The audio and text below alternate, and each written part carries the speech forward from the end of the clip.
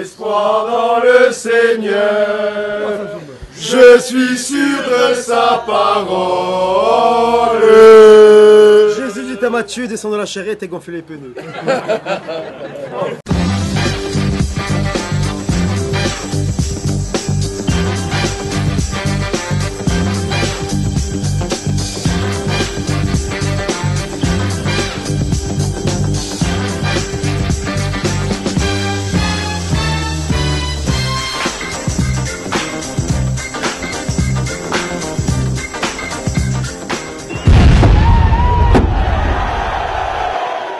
Allez, c'est parti. On va évoquer un peu le futur. Loïc nous a sélectionné quelques questions sur Camperem de, de forumiste.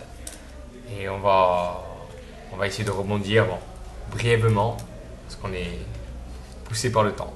À toi, Loïc. Voilà, Président, on a lancé un appel aux questions sur le forum référence du Sporting, Camperem. On a sélectionné 5. La première, posée par Oubarbelé et Blue 2B. Quelles ont été les discussions avec la CAB concernant l'avenir, les travaux et l'accessibilité du stade? Aujourd'hui, on, repart quasiment de zéro. On a mandaté un expert commun, donc euh, pour la CAB et pour nous. C'est une, personne qui, qui a deux mois pour euh, rédiger un rapport. Dans ces rapports, dans- nous, on, on dira ce que l'on veut faire à l'avenir, euh, la CAB dira ce qu'elle veut faire à l'avenir, et puis à la fin, au bout de deux mois, on se mettra autour de la table, on, fera, on essaiera de faire un, un concentré de tout ça. D'accord. Il se dit qu'en Est, il n'y aura plus de grillage, c'est vrai, c'est faux. Les grillages vont être enlevés euh, en Est, oui. Pendant l'intersaison. pendant l'intersaison. D'accord. Ensuite, on a Ogma et JL Paul qui aimeraient savoir si le renforcement de la, structure, de la cellule de recrutement était toujours d'actualité et si la venue d'un directeur sportif est-elle envisagée? Le renforcement de la cellule de recrutement, oui, il est toujours, il est toujours, il est toujours envisagé. Pardon. Voilà, maintenant, aujourd'hui, malheureusement, on n'a pas trop le temps de travailler sur ça avec, avec le chantier qu'on a. Donc, euh, Ce contact qu'on en avait il y a un mois, il est toujours d'actualité ou c'est toujours, non, toujours. Il est toujours d'actualité. euh, maintenant, encore une fois, l'actualité, justement, fait qu'on on n'a pas, on n'a pas trop le temps de, pas trop le temps de s'occuper de ça. Et pour ce qui est du directeur sportif, Il n'y aura pas de directeur sportif au, au Sporting Club Donc Bastia. Paul il c'est des bêtises. Pardon Paul il c'est des bêtises. Il n'y aura pas de directeur sportif euh, au Sporting. C'est un club où, où la liaison entre, entre l'entraîneur et, et les dirigeants doit être, doit être directe. Et puis lorsqu'on voit ce qui se passe dans, dans les autres clubs, euh, on ne prendra pas le risque. Aujourd'hui, on n'est pas mature, on n'a pas, on n'a pas la taille d'un club pour avoir un directeur sportif. Ensuite, question de Moulinquez. Vu, le vu que le contrat avec Agorsiga TV n'a pas été prolongé, qu'envisagez-vous pour l'avenir de la Web TV On travaille sur le dossier. euh, certains d'entre nous y travaillent à plein temps. On va, on va- il, y aura, il y aura probablement une, une web TV euh, interne. Et donc on, on travaille à ce dossier et c'est dommage, mais il est, il est trop tôt, il est trop, il est trop tôt pour en parler. Mais je pense que quelque chose de, de bien euh, sera fait très prochainement. C'est avancé en tout cas. Ça, ça qu'on a jeté les bases, on a, on, a, on a vu ce que ça coûtait déjà, parce qu'il faut en parler, parce que financièrement ça coûte de l'argent. On est en train d'imaginer une organisation. Euh, Ça se- on, on pense que, euh, que ce sera acté pour le début de la semaine prochaine. Ensuite, on a Fullerton 26 qui nous dit il y a actuellement 9 actionnaires au club. Y aura-t-il des changements? A priori, non, euh, non, il n'y aura pas de changement. Ah, il y a une... Demain, on va rentrer au club. Comment ça se passe Mais il faut tout simplement procéder à. Il faut venir nous voir. À ce moment-là, il faudra. On peut, on peut procéder de deux manières. Ou, euh, ou la personne qui vient demande à, à racheter les parts euh, des actionnaires qui sont là aujourd'hui, sachant que les actionnaires ont, ont la, ont la priorité sur une personne extérieure, c'est-à-dire que l'un de nous ne peut pas vendre à, quel- à quelqu'un qui viendrait de l'extérieur, les, les autres sont prioritaires. Maintenant, s'ils ne veulent pas, à Au ce moins les informer. voilà. voilà, à ce moment-là, on peut très- on- il, y aura une, il y aurait une autre solution, ce serait de procéder à une augmentation de capital. Donc la personne viendrait, le capital augmenterait, donc elle prendrait cette augmentation de capital. Donc le capital est aujourd'hui de 180 000 euros sportif. Non. C'est ça. 180 000 euros sur le papier, sachant que, bon, comme toutes les sociétés, elles ont commencé aujourd'hui, la valorisation du sporting n'est plus tout la même que celle qui était il y a trois ans. Bien évidemment. Français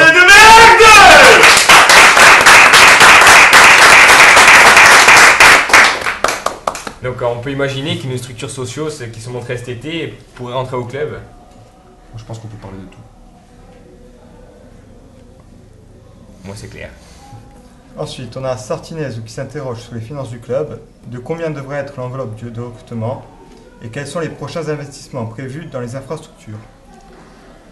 Sur l'enveloppe de recrutement, elle dépendra bien entendu euh, de, de si on vend ou pas un joueur et de combien, de combien on vendra euh, ces joueurs. Donc sans vente, on ne peut pas acheter euh, à titre onéreux. On peut acheter à titre onéreux, on pourra acheter à titre onéreux, mais il faut savoir que à ce moment-là, euh, la somme que l'on investirait sur un joueur, bien que je n'aime pas le terme investir sur un joueur, eh ben, on devra la, la retirer de l'enveloppe de la masse salariale. C'est-à-dire qu'on devra payer un peu moins de salaire, mais par contre on pourra acheter un joueur. Les enveloppes confondues, on va dire. Quoi. Tout à fait.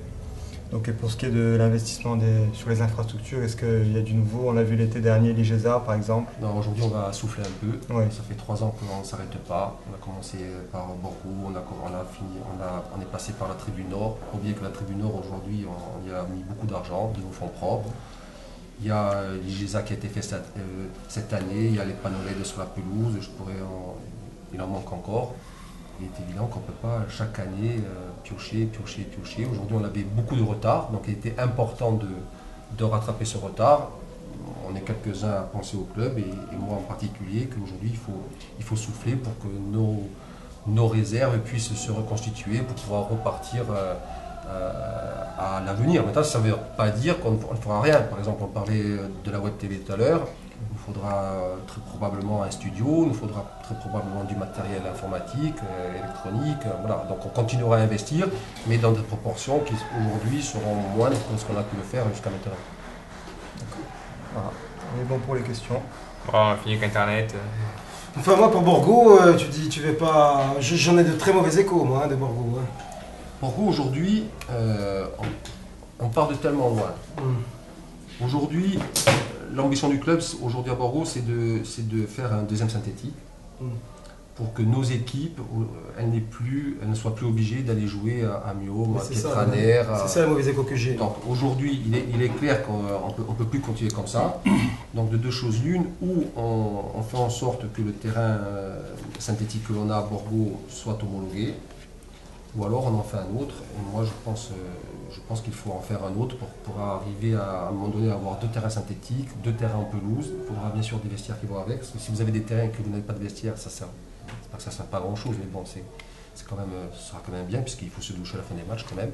Donc il y a encore beaucoup de travail à Bordeaux. Après, ne prenez pas l'aide que je vous ai dit tout à l'heure, parce que je vous ai dit qu'on va s'arrêter. Il faut savoir que chaque année, on a, on a investi à peu près euh, un million d'euros de nos fonds propres. pas de nouveaux grands chantiers. Quoi. ça va être la- la- tout simplement. terminer les chantiers en cours. euh, En sachant qu'on a, Si, on a, on a un dossier sur Bordeaux qui est en place, qui a été, qui a été envoyé euh, sur les, aux collectivités. Donc on, on m'a des dit les vestiaires, on m'a parlé, c'est des gens, même des, des ex-joueurs, j'ai pas Non, cité de noms qui sont partis, on m'a dit, il n'y a même pas de vestiaires, c'est- pas, pas aujourd'hui- d'euros euh, aujourd'hui-. Aujourd'hui, il y a. Oui, mais si tu fais un vestiaire que tu poses comme ça au milieu de nulle part et que tu ne penses pas à ce que tu vas faire euh, dans l'avenir et que, euh, et que l'année d'après ou deux années d'après, tu t'aperçois qu'il te faut un autre terrain ou, une piste et que ton vestiaire il est en plein milieu de la piste, euh, il faut, casser le vestiaire et, en, refaire un autre. Donc aujourd'hui, on est en, train- de travailler sur un projet global.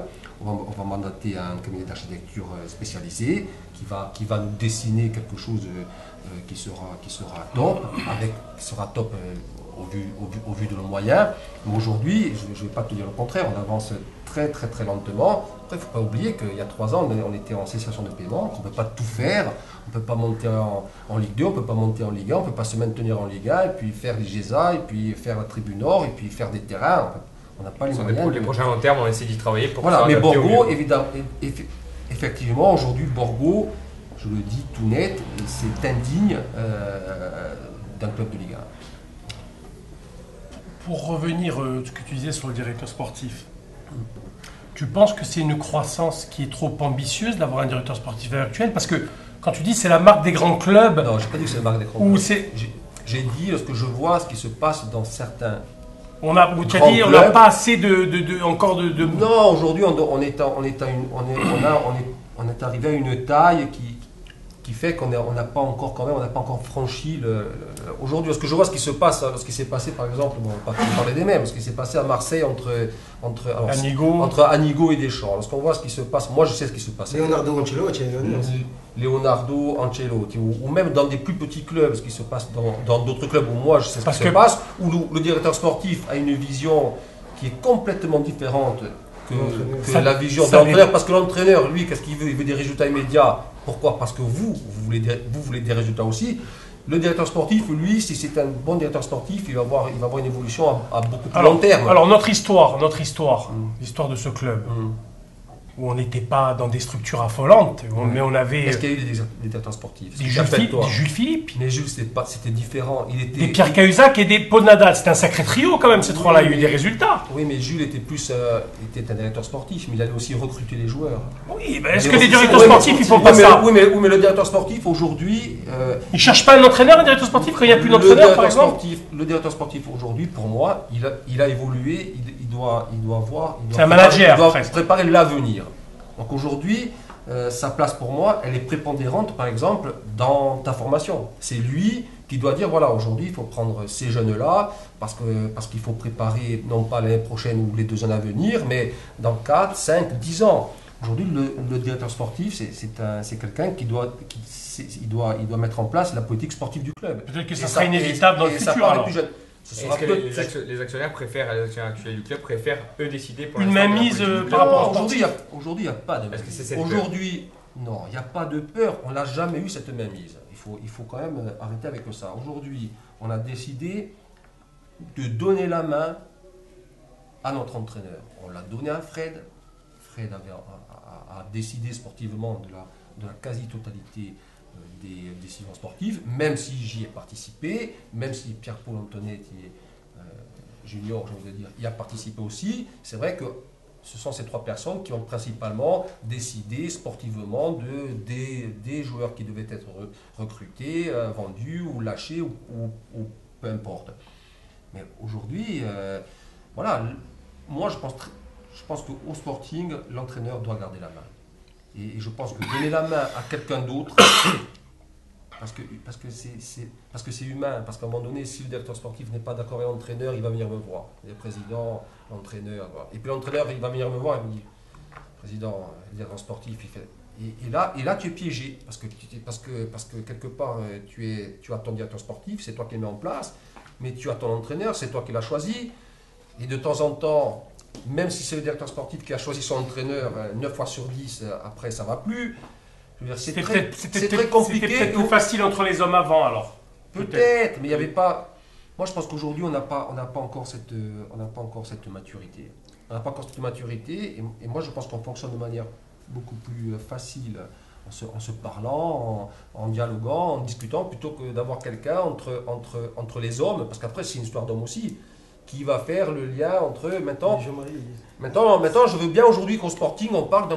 Non, j'essaie de parler de de- choses qui ont marché. Hein. Non, non, moi je, moi, je 78, voudrais bien qu'aujourd'hui, on- je voudrais bien qu'on parle d'un coordinateur sportif. C'est-à-dire que par exemple, je ne Oui. suis pas contre quelqu'un qui va, qui, va qui va être le relais. Mais être le relais et faire des choix, c'est deux choses complètement différentes. Mais plus proche de l'entraîneur que. Qui va, par exemple, euh, aux entraînements tous les jours, qui entend Ouais. parler les joueurs, qui entend parler le staff et qui, qui va venir. et après, avoir un, peu un rôle polyvalent. J'ai senti que ça se passait pas tellement bien. Alors justement, on a, on a parlé je des, préfère cette organisation. on a parlé des jeunes. euh, on a vu cet hiver Lubomir Wawchi qui arrive avec des jeunes. Je ne sais pas qui on a gardé finalement. Mm. Puis un de ces jeunes a été vendu à la Rome, je crois, Ouais. 350 000 euros. L'attaquant, l'attaquant, il avait, on avait le gardien et l'attaquant, nous, c'est Ça, ça veut, ça veut dire que le Sporting n'a pas, n'a pas gardé ce jeune. Qui, dé- qui a décidé, qui décide Mm. de, de- dans ce domaine De dire oui, on garde un ce jeune, quand tu viens jeune à l'extérieur, de 17 Qui ans par exemple. C'est le staff. Le staff, mais lequel les staff? Les staff professionnels ou D'abord, staff si euh, c'est un jeune, vous vous doutez bien qu'il n'est pas mis à l'essai directement avec le groupe pro. D'accord. Donc il est, mis à l'essai- il est mis à l'essai avec la réserve, ou si c'est un garçon qui a 16 ans ou 17 ans, Ouais, ce qui était le cas, je crois. avec, avec, avec les 19 ans. Ouais.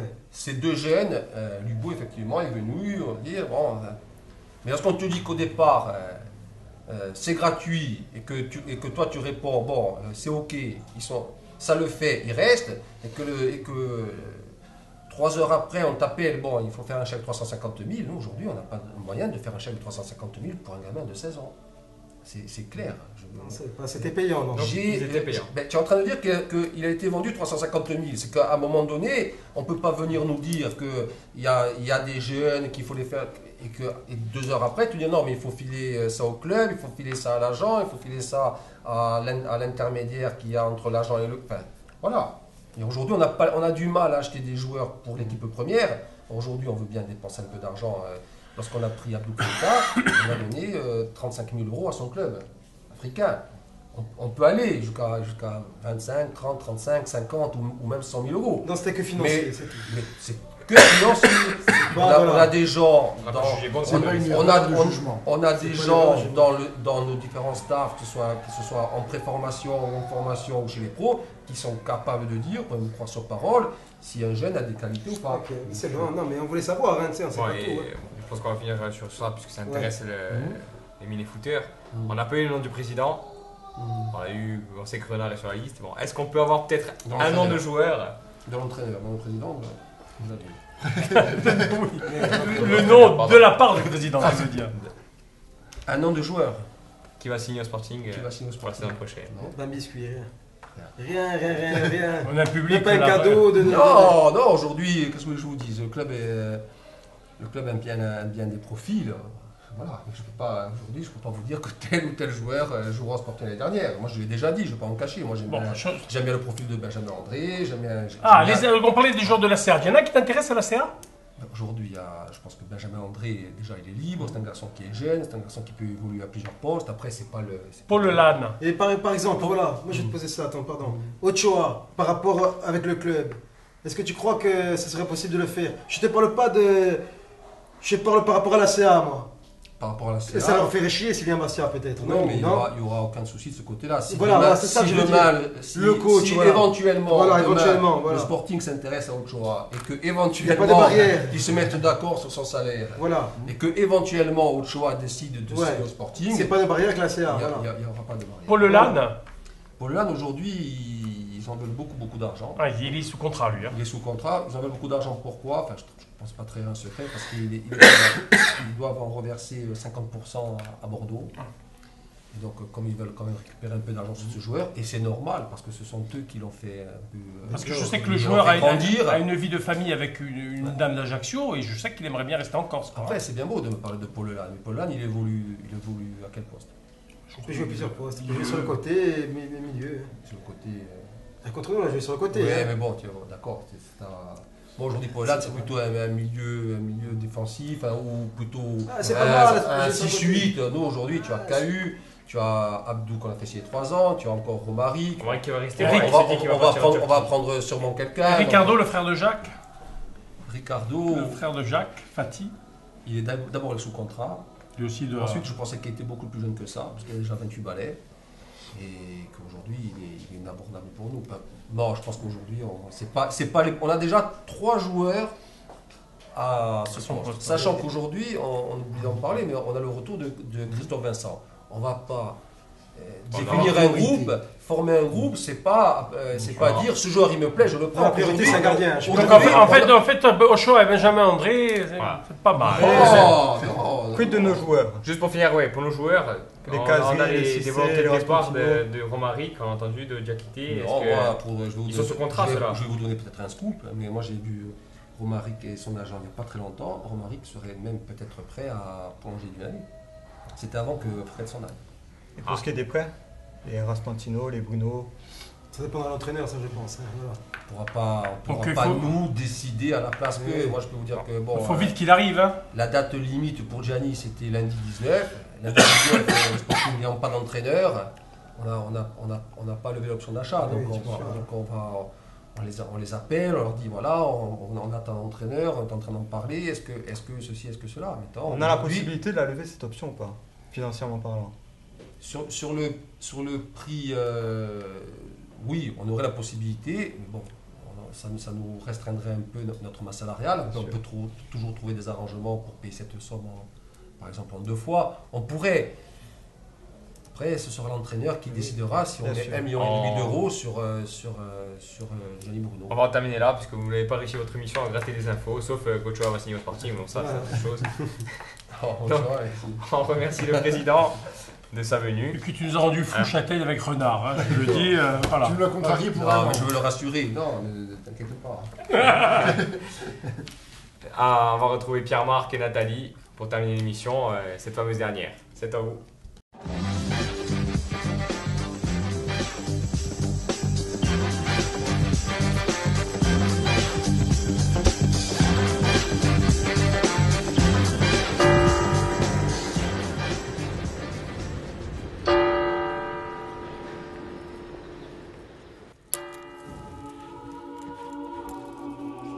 Seigneur, au nom de tous les supporters du Sporting Club de Bastia, nous te prions de bien vouloir bénir Frédéric Hans et de le sanctifier. Nous te demandons aussi pour la saison prochaine de nous envoyer un entraîneur qui marchera sur ses traces et qui sera aussi bon pour notre club et pour notre pays que lui. Amen.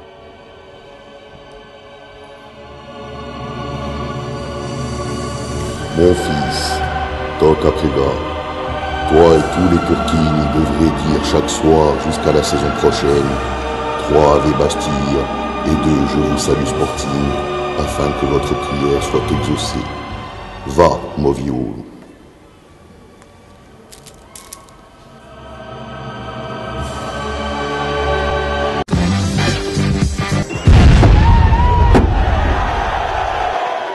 Salut à tous, on se retrouve pour le dernier Otumertu de l'année. Donc, euh, un Otumertu un peu spécial euh, pour le départ de Frédéric Hans. Donc, il y a eu de nombreux témoignages, bien évidemment, à la hauteur d'un grand homme. Euh, alors, j'ai sélectionné quelques petits messages de remerciement, notamment, donc on va envoyer les images. Vous pouvez voir Ben Sada, un ancien Tourkin, le planteur contre l'OM. Euh, donc, euh, bravo et il le félicite par rapport à son parcours. On passe chez nos joueurs. Donc, euh, Lec, un grand merci. Euh, merci de m'avoir donné la chance de revenir à la, maison et on perd gros. Notre capitaine, donc encore là pour les quatre prochaines années, euh, un grand merci lui aussi euh, et il le remercie surtout pour tout ce qu'il lui a apporté humainement et sportivement. Et Bruno, toujours un grand merci lui aussi. Donc bonne, bonne continuation pour la suite au coach et tout son staff. Vous avez été au top. Et on termine avec le tweet de Monsieur le maire, euh, grand supporter du Sporting Club de Bastia. Donc toujours des remerciements. Hans quitte le club, mais il est pour toujours dans l'histoire du Sporting. Voilà, c'était le dernier Otubertu de la saison. On se retrouve pour la saison 2014-2015. Bye à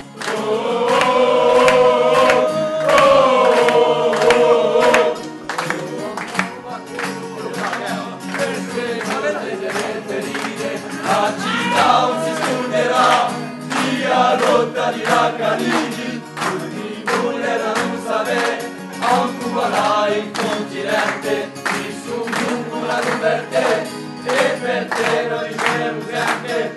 Oh, oh, oh. oh, oh.